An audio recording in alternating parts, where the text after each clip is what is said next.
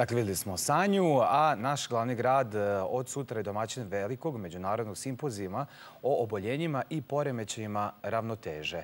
O tome ćemo ovoga jutra malo više sa doktorom Dušanom Pavlovićem, koji je naš gost. E, on je inače e, u Udruženju otologa Srbije. Dobro jutro da nam došli. Dobro jutro. Dobro jutro. Pričamo o poremećima ravnoteže. Koji su to najčešći uzroci i rizici kada pričamo o ovom oboljenju?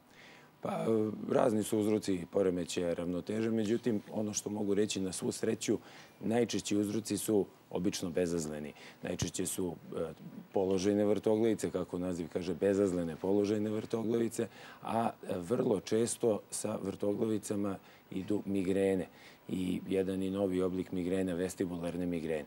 Međutim, kao što znamo, postoje i mnogo opasnije bolesti koje dovode do poremećaja ravnoteže, to mogu biti moždani udari, neke demijelinizacione bolesti, tako da širok je e, dijapazon. Zato mi savjetujemo pacijente koji osete već prve simptome da se odmah jave na pregled, jer bez obzira i ako su ovi... Koji su to prvi simptomi? Danas bi svako rekao, ja osjećam vrtogavicu. Malo se, malo se zavrtelo, da.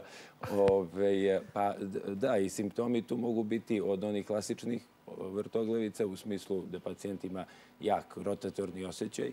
To je ono što pacijenta skoro uvek dovede do lekara. Njemu je loše, on teško stoji, mučnine i povrećenje često idu uz to. Međutim, poremeće i ravnoteže se mogu manifestovati i vrlo diskretnim simptomima. E, vratio se čovek sa letovanja i sve fotografije mu nekako malo nakrivljene. Pa još onda malo pogledamo ove i njega pa vidimo kako drži blago glavu nagnutu na jednu stranu. Znači, to može to biti... To nešto, ja se izvinjam što prekidam, što samo vi stručnjaci možete zapravo da, da primetite. E, pa, da, hoću ja kažem da neka to može ići e, sa vrlo diskretnim tegobama nekog blagog ljuljuškanja ili neke e, pogrešne percepcije položaja u prostoru. Recimo, da imate osjećaj kao da je glava napravila malo veći pokret nego, nego što, što, što jeste. Dok, naravno, mislim, da kažem, neka nestabilnost, zanošenje u hodu, to su, da kažem, već evidentni znaci ove poremeće ravnoteže, što ove, zahteva, naravno, ispitivanje. A gde je granica za, recimo, evo nas hipohondre, kada se zapitamo da li ja imam poremeće ravnoteže, a u stvari to uopšte nije poremeće ravnoteže. Možemo ta, tu nekako, pa, da, da ne idemo bez veze kod lekara, to smo. E, da, pa dobro, mi često, da kažem se, savjetujemo sa pacijentima sada i preko uh, e-maila ili ove pre nego što se zakaže pregled telefonski da se vidi kakve su to zapravo te gobe. Ali uh, ključni deo pregleda je upravo i jeste razgovor sa pacijentom.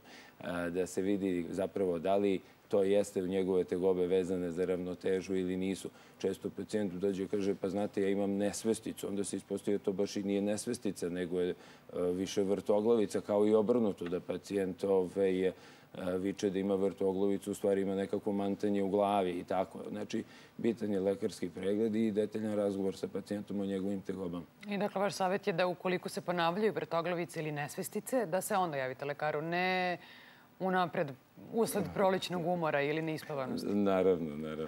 E, da vas pitam, evo sad se sada pomera ovaj, za sat vremena kasnije, manje spavamo, dva put godišnje nam to rade. Mnogi stručnici kažu da to sad uopšte nije zdravo, to je najnovija teorija. Neke zemlje su odustale čak od ovog pomeranja sata. Ili ima to nekog uticaja evo, u vašoj oblasti? Kažu da na mnoge sfere života utiče. Pa konkretno ovaj, ne, ne bih znao kako to utiče na ravnotežu, ali vrlo moguće da ako se neko nije naspavao, da se ujutru probudi sa vrtoglavicom. Vrtoglavica se često javi ujutru ili nekad u toku noći zna da probudi pacijenta prilikom okretanja u krevetu, pogotovo kod ovih položenih vrtoglavica.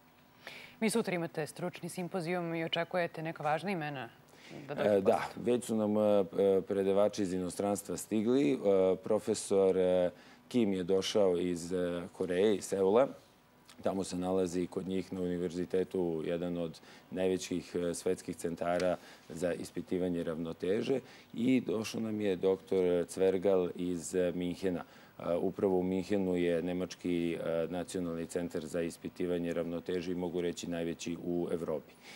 Ono što je značajno za nas, za naše lekare, što će eto imati priliku da čuju E, najnovije stvari iz ove oblasti. A evo, ja sam i najavio da upravo neurootologija, ta oblast medicine koja se bavi poremećima i obolenjima ravnoteže, e, u poslednjih par godina ima dosta noviteta. U smislu pojavile su se nove diagnostičke metode i to je rezultat jednog boljeg našeg uvide i saznanja u funkcionisanje o našoj ravnoteži sistemu za ravnotežu.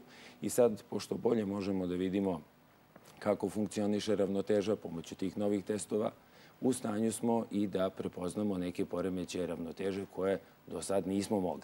Tako da mogu reći sad ima nekakvih novih dijagnoza, odnosno saznanje o nekim obolenjima koja dovode do upravo obolenja ravnoteže. Mi se nadamo da će vam što manje trebati. Hvala najlepše na gostovanju. Hvala, Hvala i vam.